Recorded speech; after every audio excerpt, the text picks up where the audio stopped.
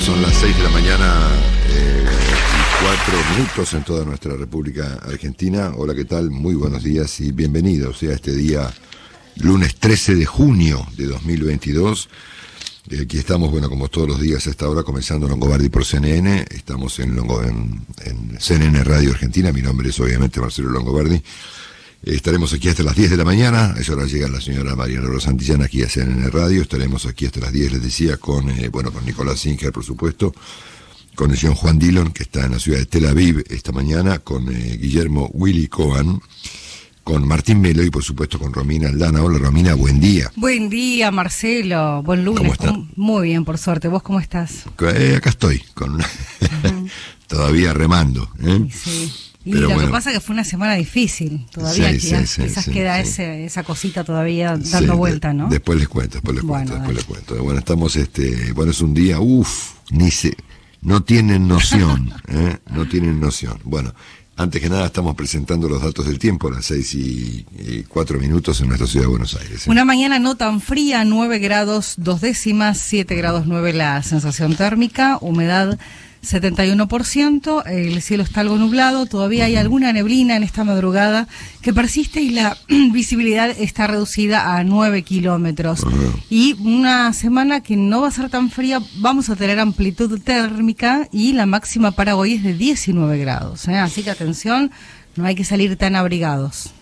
Bueno, genial, ¿eh? Ayer fue una tarde mucho más linda, ¿no? En general, ¿no? Yo estaba, yo no, no estaba en casa, pero, pero fue Estaba- una linda estuvo tarde, lindo, ¿no? estuvo lindo, soleado y te diría que toda la semana se va a mantener similar, ¿eh? entre 18 y 19 grados de máxima. Sí, sí. Bueno, un gran abrazo, enorme abrazo para nuestro querido amigo el señor Juan Dillon, que nos acompaña desde Tel Aviv esta mañana. Hola Juan, buen día.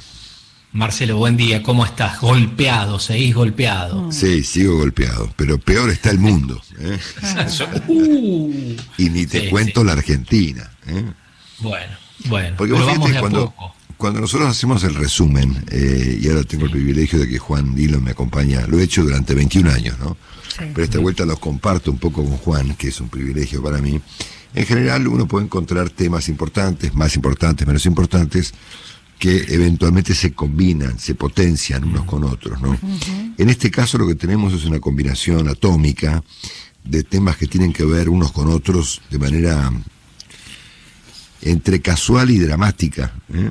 Sí. Porque tenemos para empezar a conversar una, y a mí me parece el tema más importante de todos los temas, aunque desconozco por supuesto los términos en los que ocurrió esa conversación, el hecho de que el presidente Biden advirtió en un almuerzo a los líderes de América Latina que estaban en la cumbre de las Américas que efectivamente la posibilidad de una tercera guerra mundial es concreta, ¿no es cierto?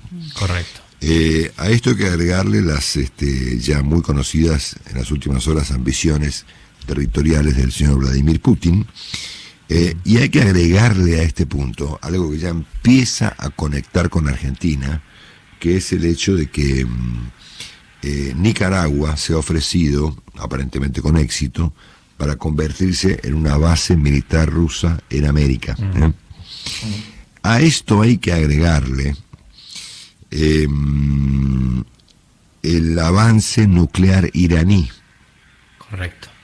que es otra cuestión que combina, si querés, pregunto con Argentina, porque apareció un avión. ¿eh?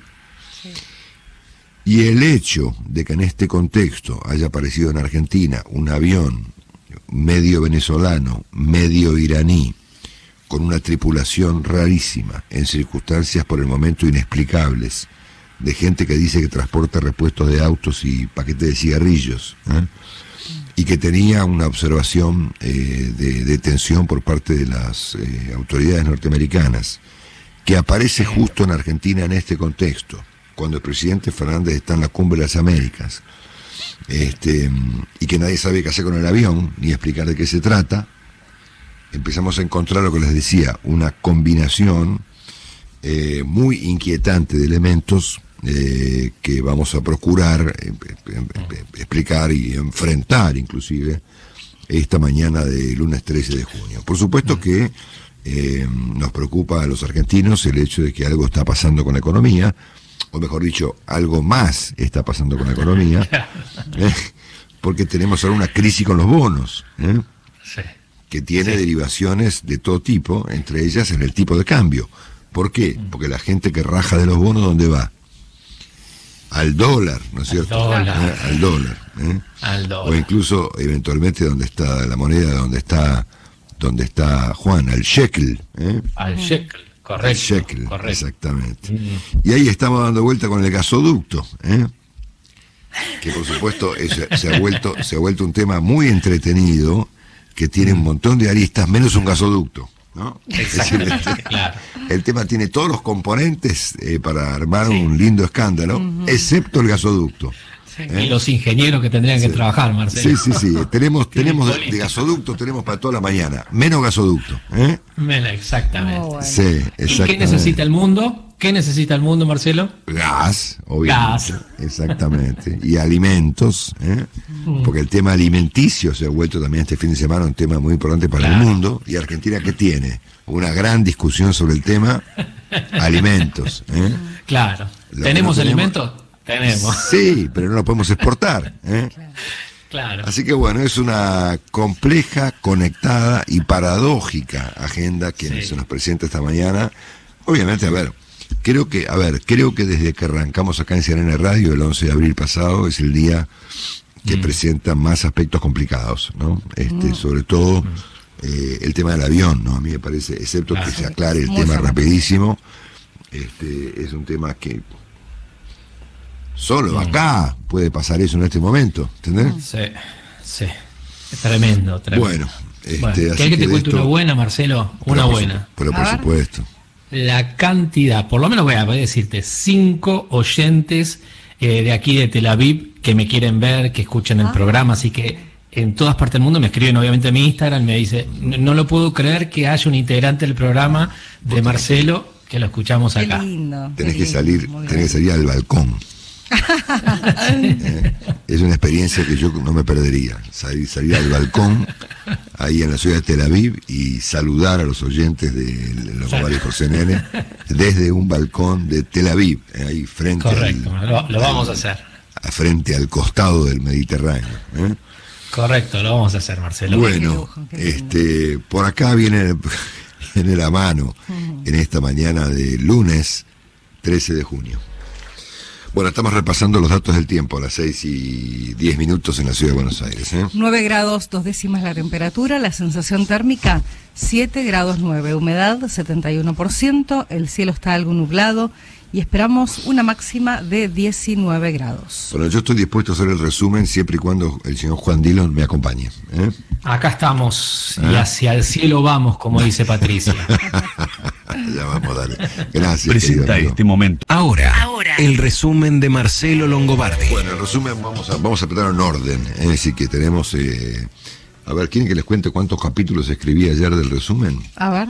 Mira, hay un A capítulo sobre Rusia, uno sobre temas Sí. internacionales, uno sobre la cumbre de las Américas, que aún ha dejado Correcto. tela para cortar. Sí. El cuarto sobre el avión, ¿eh? el avión de esta rarísima compañía ll- llamada Emrasur. ¿eh?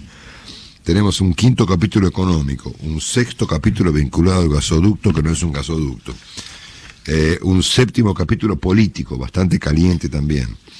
Eh, un octavo capítulo sobre temas judiciales y un noveno sobre diversos temas. Quiere decir que si ustedes quieren estar informados, este, eh, creo que lo van a conseguir esta mañana de lunes 13 de junio. Allá vamos. ¿eh?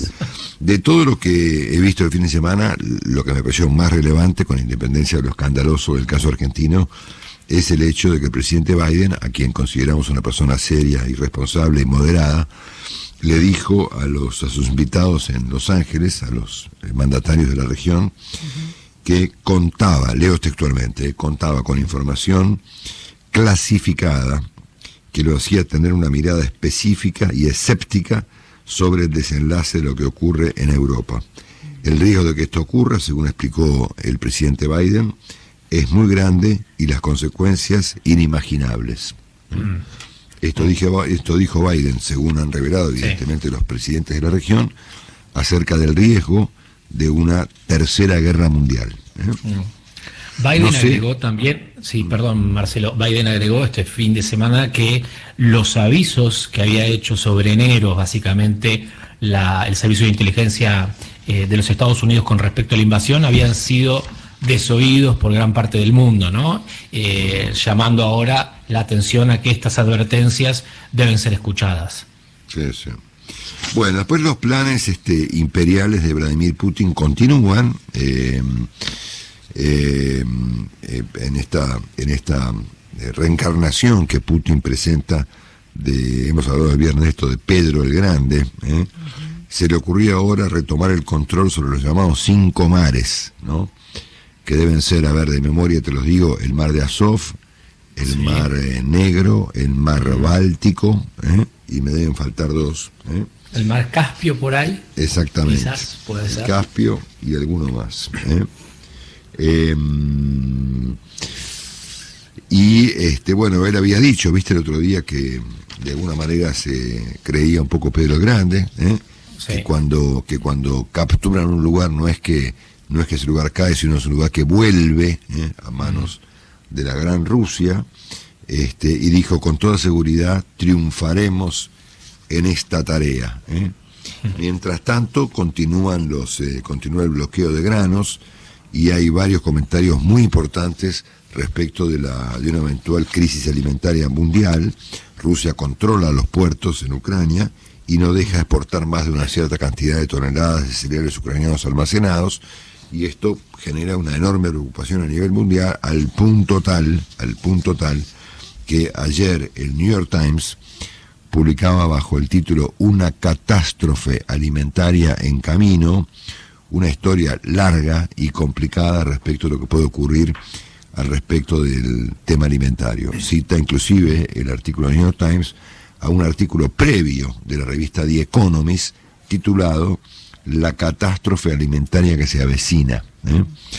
Em, es más, habló sobre el tema un gran historiador eh, norteamericano llamado Timothy Snyder, que yo he citado aquí varias veces, que dijo que esto es directamente un plan. Eh, dijo Vladimir Putin se está preparando para matar de hambre a gran parte del mundo.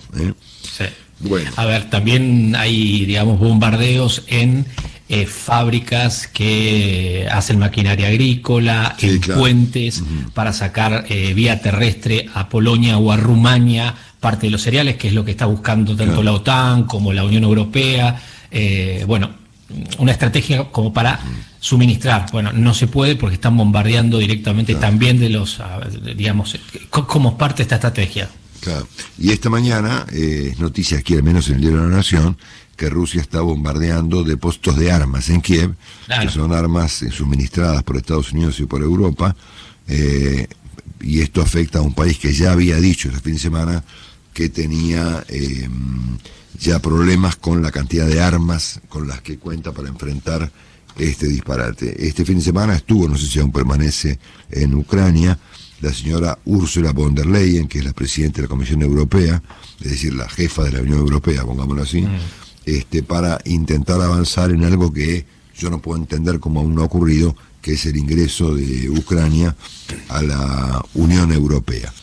A esto se le agrega, Juan y chicos, un dato que a mí me resulta muy significativo, obviamente si pasa de las palabras a los hechos, ¿verdad? Eh, ustedes saben que hay tres autocracias muy marcadas en la región. Una es Cuba, histórica, la otra es Venezuela Em, y la otra es Nicaragua, ¿no? El presidente de Nicaragua, Daniel Ortega, está totalmente loco, es decir, vamos a ser claros, no, no, no es una persona normal.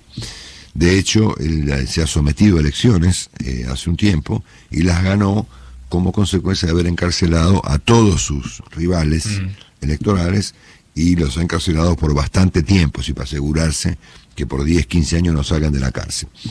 Bueno, eh, y el tipo tiene, eso hemos hecho nosotros aquí con Claudio Fantini, directamente históricas, ¿eh?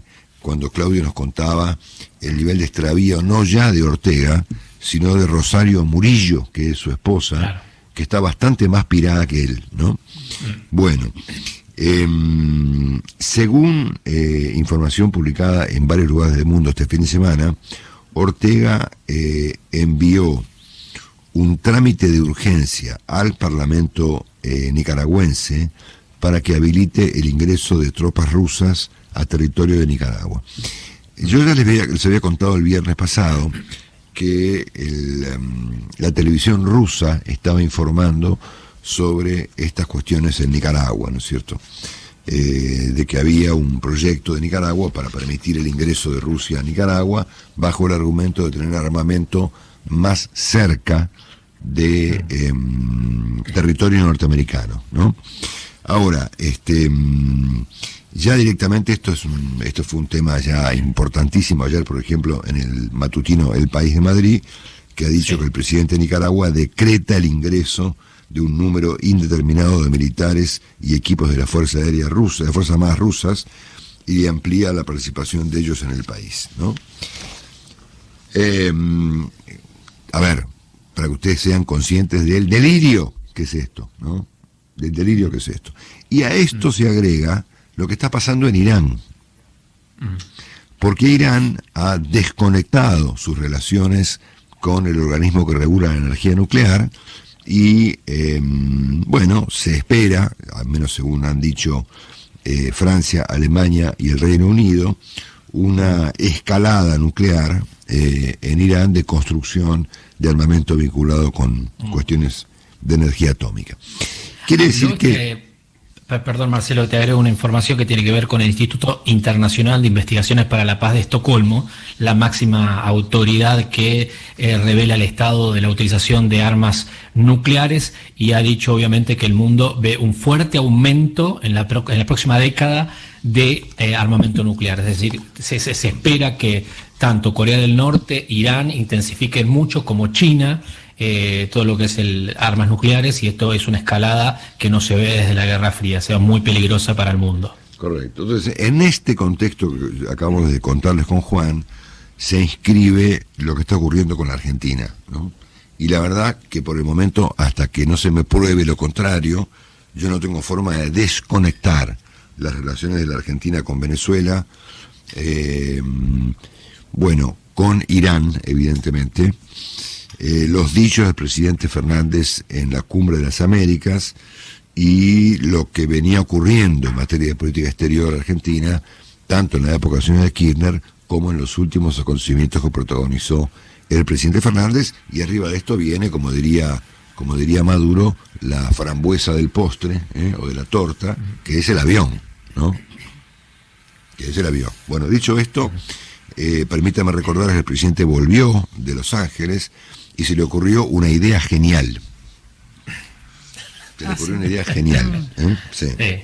muy creativo está el presidente. Sí, para explicar eh, eh, el, papelón ridículo que hizo frente a los Estados Unidos en la semana pasada en Los Ángeles. Dijo, Estados Unidos sabía perfectamente lo que yo iba a decir. Como si eso atenuara en parte o en todo eh, el comportamiento y la actuación del presidente en la cumbre.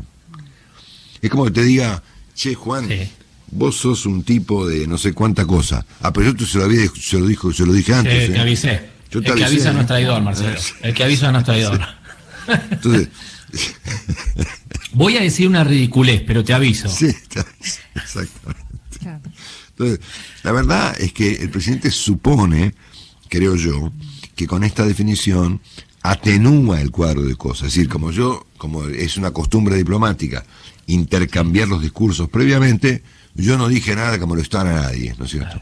Bueno, eh, obviamente que el presidente ha quedado, digamos, como una suerte de desaforado, es decir, fue mucho más virulento con Luis Almagro, por ejemplo, y con la OEA, que con Nicolás Maduro, que tiene que explicarnos ahora qué hace su avión con los iraníes en Buenos Aires, ¿no es cierto? Pero bueno, el presidente se ha conformado, que se conforma con poco, con este con haber este planteado esto previamente y que esto, según él, supongo yo, atenúa este atenúa las cosas que dijo en la cumbre, ¿no es cierto? Hubo finalmente un acuerdo o un semi-acuerdo migratorio entre los países al cierre de la cumbre de la semana pasada, este, sea, 19 países eh, aceptaron eh, que hay que hacer un acuerdo histórico para atenuar y atender el drama de los millones de inmigrantes que huyen básicamente de Venezuela, por ejemplo, pero mucho más allá de eso no pasó nada, con excepción de que, por supuesto, quedó la discusión, quedó la discusión sobre los países ausentes, que fue evidentemente el tema más importante de la cumbre. Ahora, en este contexto, desde Irán, el presidente Nicolás Maduro se le dio por elogiar a Alberto Fernández. Entonces, a ver, todo esto parece, hasta parece una casualidad, ¿no? Mm. O sea, el presidente Fernández defendiendo a estos países en Los Ángeles. Eh, los rusos metiéndose en Nicaragua. Un avión venezolano iraní con una tripulación rarísima sin que nadie pueda explicar qué hacen en Ezeiza. Y en este contexto, y justamente desde Irán, el presidente Nicolás Maduro elogiando a Alberto Fernández por su defensa de Venezuela y de Cuba. A ver, si no es un libreto previamente escrito, me van a tener que convencer. ¿eh? Sí, sí, sí. No, esto no, es, no es por casualidad, Marcelo. No, no, evidentemente no. Bueno, así que, eh, y es más, es más, eh, eh, Maduro en Teherán definió su propia relación con Irán, planteando que son iraníes y venezolanos compañeros de lucha. ¿eh? Mm. Bueno, y firmó un, acuerdo de cooperación em, eh, en diversos campos con los iraníes por 20 años y además los iraníes le dieron un, barco petrolero. Ah. Y esto ocurría al mismo tiempo que le pegaban una flor de paliza eh, a Juan Guaidó en, en este en em, estado de Cojedes, eh, que es un lugar de en un restaurante en, eh, en, Venezuela, ¿no es cierto?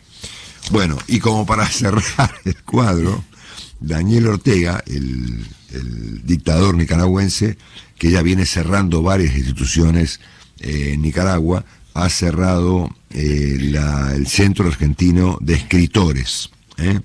Se había cerrado 500 ONGs y diversas instituciones académicas, educativas y demás en Nicaragua, pues ahora ha cerrado eh, el Centro Nicaragüense de Escritores. Bueno, quiere decir que todo esto compone un cuadro que actúa, opera como un caldo de cultivo a las sospechas que todos tenemos desde el día de, este fin de semana, cuando se supo que el 6 de junio pasado aterrizó en Buenos Aires un misterioso avión gigantesco, un Boeing 747, que pertenece ahora a una compañía eh, de transporte venezolana, que según los servicios de seguridad norteamericanos perteneció nada menos que a las fuerzas Quds de Irán y que tiene una tripulación eh, de por lo menos el triple de personas de las que trae generalmente un avión de carga, y que argumentó que transportaba a Buenos Aires repuestos de autos, ¿no? Que es muy fácil, porque no nos muestran, ¿no? Claro. O sea, yo no sabía que las compañías de autos que operan en Argentina traían repuestos de Venezuela o de Irán, pero, qué sé yo, por ahí... Sí. No, ¿viste? no, sabía que era un viste que la globalización, globalización. una gran autopartista Venezuela parece pero toda esta historia es efectivamente muy rara verdad bueno nos queda para después de las eh, noticias eh, obviamente un em, bueno, un repaso del tema del avión, que va a ser un tema recurrente durante la mañana de hoy aquí en CNN Radio. Nos queda un panorama internacional que incluye unos temas importantes, como por ejemplo el bombazo de la inflación en Estados Unidos del viernes pasado, que fue un bombazo. ¿eh?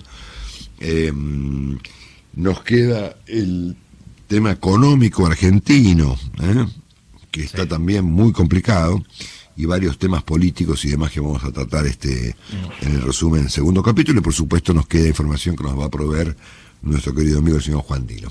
¿eh? dos datos, Marcelo. Dos datos, sí, dos datos eh, simplemente, Marcelo. Uno que tiene que ver con la posible visita, me parece que es eh, un hecho que puede ser contundente, es la visita conjunto de Emmanuel Macron, Mario Draghi y Olaf Scholz a Kiev en los próximos días. Eh, irían los tres presidentes o primer ministros juntos.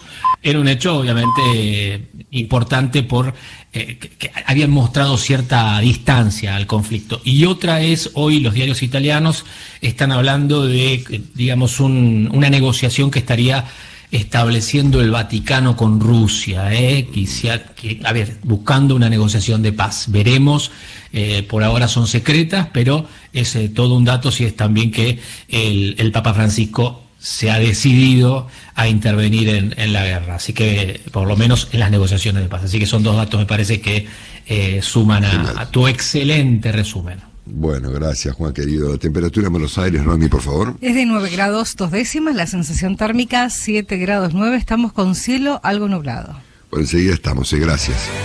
Hasta las 10 de la mañana. Longobardi por CNN.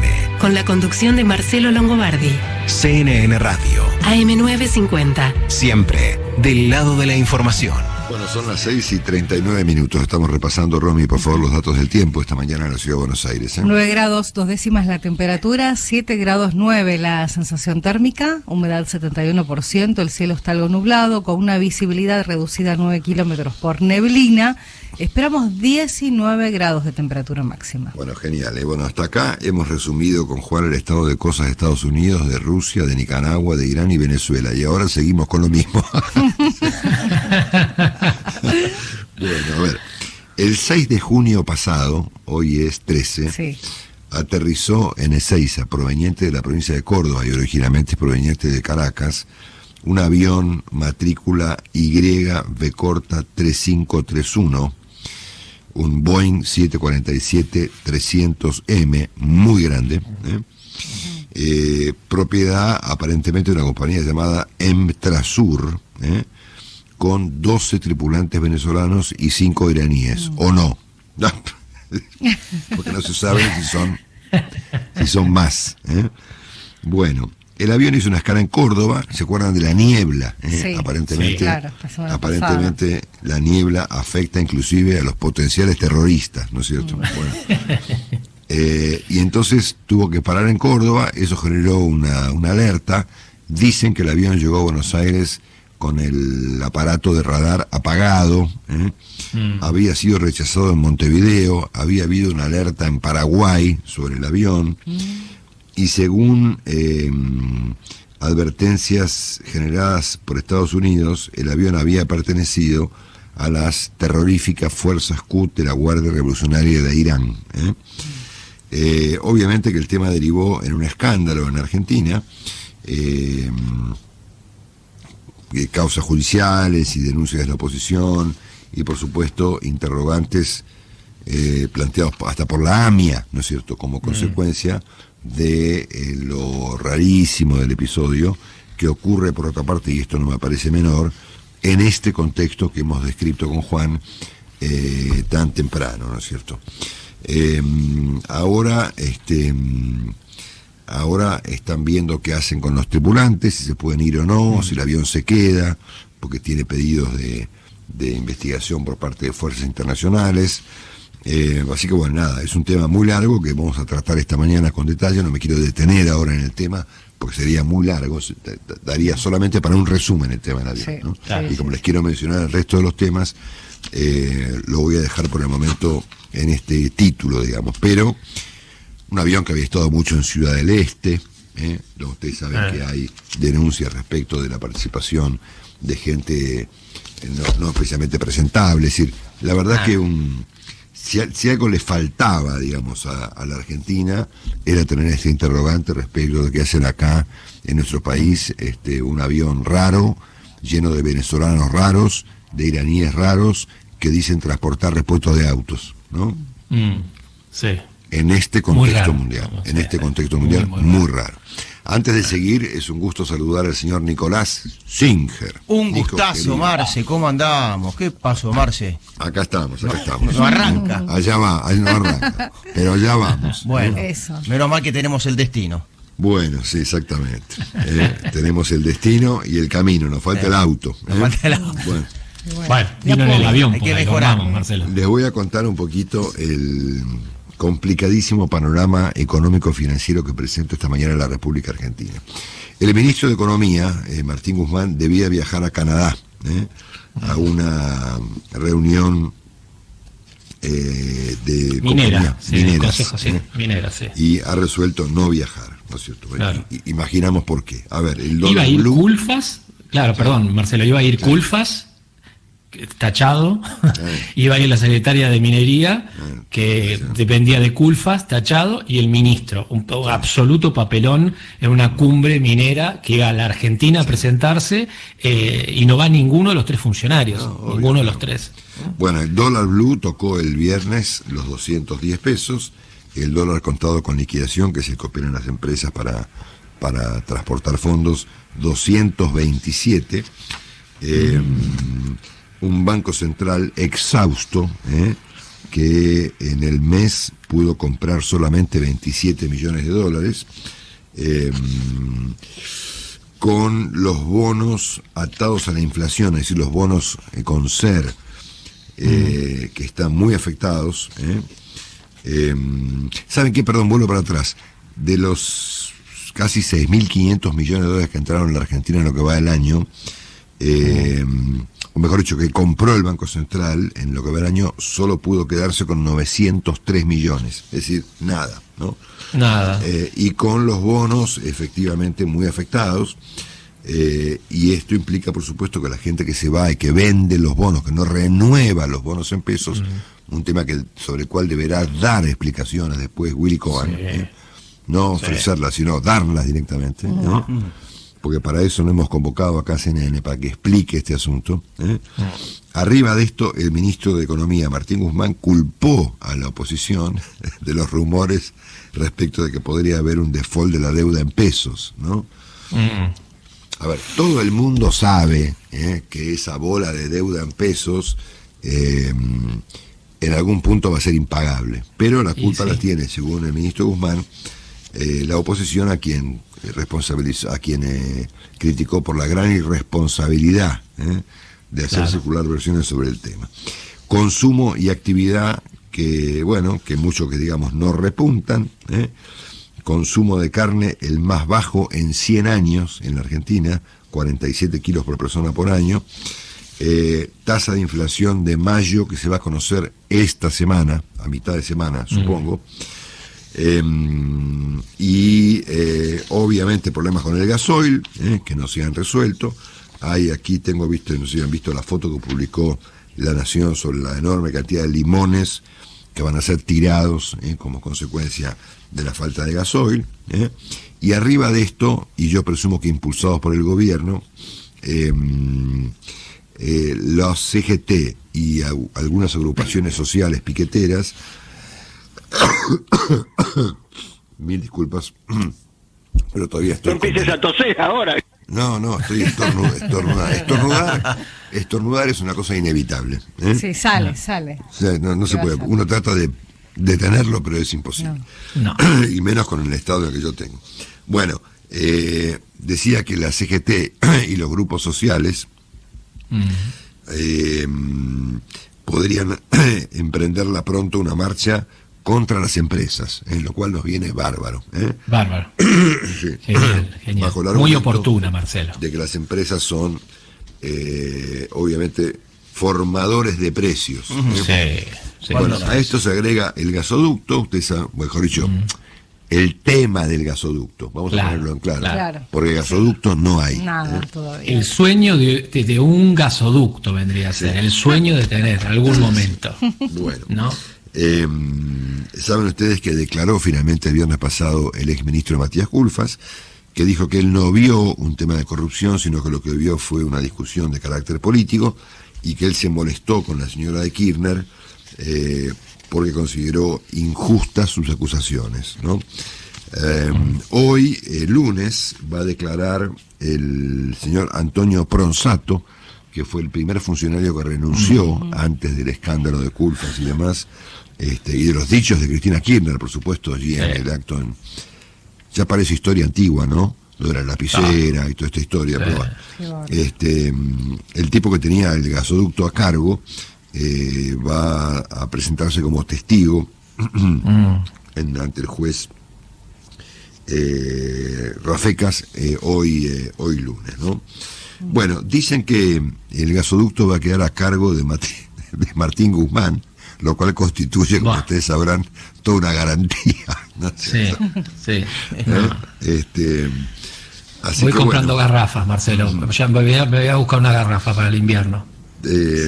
tanto tanto este Martín Guzmán como el secretario de Energía, el señor este Darío Martínez, van a estar a cargo de, del gasoducto.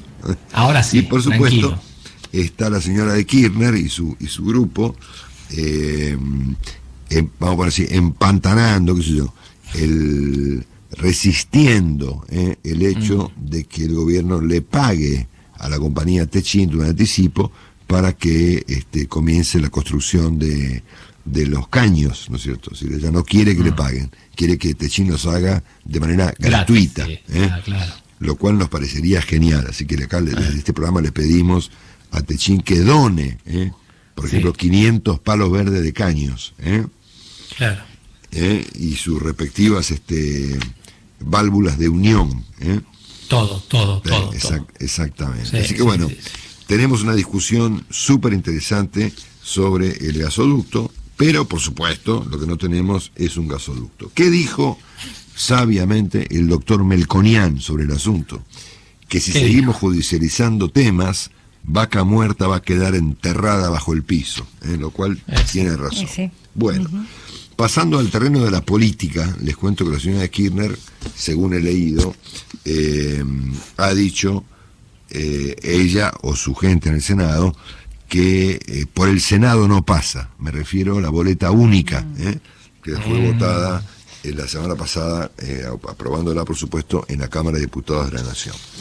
Bueno, ocurrió una conversación entre Javier Milei y el expresidente Macri, ¿no? que hoy la cuenta los diarios de esta mañana, y dicen que em, eh, Milei le planteó al expresidente Macri ir juntos en 2023. ¿eh?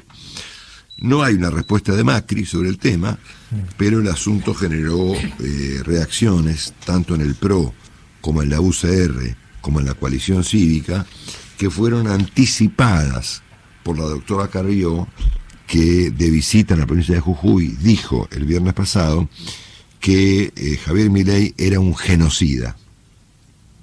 Bueno, em, con esta definición de genocida, lo que ella conectó el asunto con la visión que tiene Milei sobre la cuestión de la venta de órganos, ¿eh?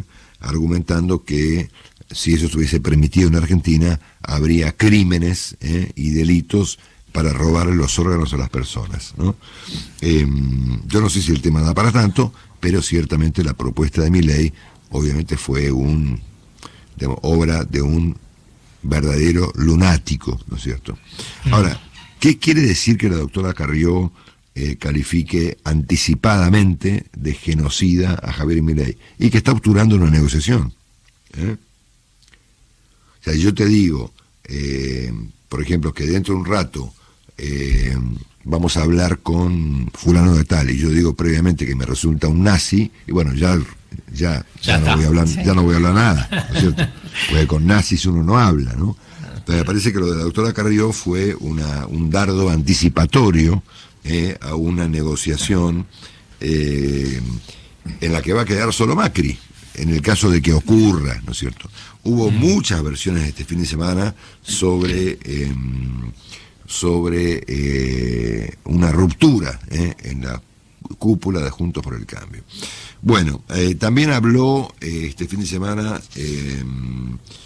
bueno, hubo un acto, vieron, de Miley, ¿no? Que fue medio un fracaso. Sí, sí, en, el estadio del Porvenir. En Herli. Sí, 1.500 personas, cantó el DIPI, bueno, no, no funcionó. Bueno, la verdad es que también es cierto que una campaña política lanzada con actos y todo, un año y medio ante una elección, nunca se había visto, digamos, ¿no? Es decir, llega un momento en que la gente se va a pasar todos los fines de semana de acá un año y medio yendo actos, ¿no es cierto? Bueno, habló Máximo Kirchner, esto ocurrió también la semana pasada, en Hurlingham, provincia de Buenos Aires, inaugurando una. Él dijo, bueno, no, me, esto es una maqueta. ¿Qué dijo Churchill? ¿Qué dijo Churchill? dijo. No, porque viste que habla Máximo y es como. Nada, sí, sí, bueno. Estratégico. fue esos discursos que da Máximo a media lengua, viste que parece que se ríe todo el mundo. Bueno, presentó una maqueta de un hospital. Y advirtió a los medios que era una maqueta por si los medios eh, y los periodistas se confunden y no logran distinguir una maqueta de un edificio, ¿no?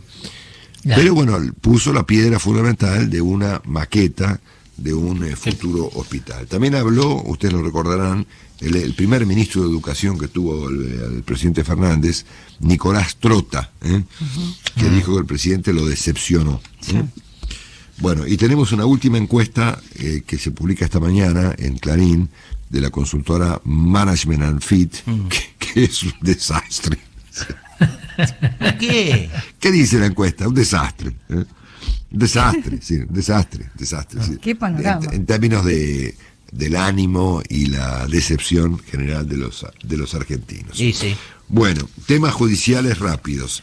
Hoy está para la Nación que en la causa de, famosa causa de vialidad, en la causa en la que se investigan los contratos a Lázaro Báez en Santa Cruz, la señora Kirchner podría enfrentar un pedido, pedido ¿eh? de condena de entre 5 y 16 años de prisión. Las señoras Rocío Fernández Peruil, Florencia Fernández Peruil, Sofía Elizabeth Pachi y Estefanía Domínguez, amigas todas ellas de la señora esposa del presidente, deberán declarar en la causa del, em, del Olivos Gate. ¿eh? Tienen prisión preventiva los agresores de Tiziano Gravier, el hijo de Valeria Massa y Alejandro Gravier, por la brutal agresión que, em, que sufrió la semana pasada en Rosario. Vamos a hablar después con Nico sobre el caso de Sebastián eh, Villa. Sí. ¿eh? sí. Em, siendo que el juez ha rechazado el pedido de captura que el fiscal em, emprendió sobre él. Bueno, sigue habiendo una importante controversia por esa compulsión de la Argentina por la controversia con el tema del lenguaje inclusivo que fue eh, bueno prohibido en las escuelas de la ciudad de Buenos Aires por la ministra Soledad Acuña y obviamente por el jefe de gobierno Rodríguez Larreta em, y por supuesto el conjunto del kirchnerismo eh, ha salido a criticarla duramente, este, bajo el argumento de que esta prohibición obtura cuestiones vinculadas con la igualdad de género y demás. ¿no? Yo lo que veo acá más bien es una cuestión política, es decir, viste esta, esta compulsión del que a ver, cada distrito educativo puede imponer sus, sus planteos, ideas y eventualmente reglas. En este caso hay inclusive algunas sanciones para los docentes que insisten con el asunto pero está la compulsión del kirchnerismo a polemizar con todo, que estamos ahora polemizando alrededor del lenguaje inclusivo en la ciudad de Buenos Aires.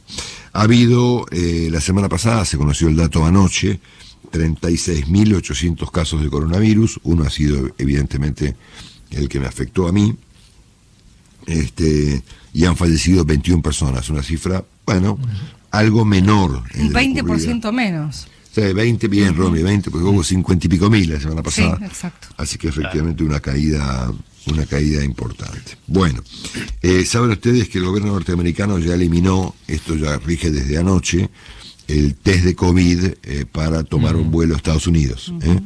Creo que no aplica si uno entra por auto, ponerle algo así, pero para los llegadas a Estados Unidos por avión, efectivamente, em, efectivamente em, eh, ya no, no aplica más. Y les hago un brevísimo, pero brevísimo repaso internacional ¿eh? que incluye eh, inflación en Estados Unidos correspondiente al mes de mayo, 1%, anualizada 8.4%, esto es la inflación más alta en Estados Unidos en los últimos 41 años. Bueno, Em, la comisión que investiga el asalto al Capitolio, ocurrido el 6 de enero pasado, eh, ha determinado que hubo efectivamente un intento de golpe de Estado em, que fue eh, resultado directo del esfuerzo del presidente Donald Trump. ¿eh? Hoy hay otro informe, Hoy sigue el informe, esta mañana, por lo menos en Estados Unidos. Este, mm, de, quien, de quien inclusive se dijo que su hija tuvo que explicar si fue cierto o no que trató de mandarlo colgar a Mike Pence. ¿eh? Sí. Todo muy civilizado. Saben ustedes que la justicia de Bolivia ha condenado a 10 años de cárcel a la expresidenta Janine Áñez, ¿eh? que sustituyó al presidente Morales en ese contexto de convulsión que tuvo Bolivia luego del, um, del comportamiento de Morales respecto a su, a su periodo este, no, no ajustado a la ley. ¿no? Esto ha generado, eh, bueno, protestas, divisiones, ¿eh? este, mm, e inclusive algunos sectores de la región que han salido a defender a la señora Áñez, acusada de eh, golpe de Estado. El Papa suspendió un viaje al África. Sí. el argumento tenía que ir dentro de un mes a Sudán del Sur y a la República Democrática del Congo. ¿no? Saben que en Sudán hay un despelote monumental que no, no viene al caso. Pero lo cierto está en que, por supuesto, como consecuencia de que faltaba un tiempo para esto, eh, y que el argumento del Papa es que le duele la rodilla, hay, eh, o se han extendido este fin de semana muchas versiones respecto de la salud del Papa y por qué no quiere, no quiere operarse. ¿eh? hubo ayer, domingo, un anuncio de un grupo de senadores de ambos partidos de Estados Unidos eh, para buscar anunciar algún acuerdo sobre algún nivel de control de armas. ¿eh? Correcto, correcto. Especialmente. No es, lo, buscado, lo deseado por Biden, pero es un paso importante. Sí, sobre todo porque en principio se obturaría la venta de armas a personas que no están bien de la cabeza, digamos, sería por lo menos un avance. Bueno, después Juan nos va a hablar más tarde de Emmanuel Macron, que se le complicó mm. la vida. ¿eh? Elecciones complicadas para Macron, ¿eh? Sí, sí, sí, casi empatado ahí, ahí, ahí con la izquierda unida. Sí, exactamente, que es la que conduce el señor Mélenchon, que es nuestro amigo, el amigo de los saltimbanquis. ¿eh?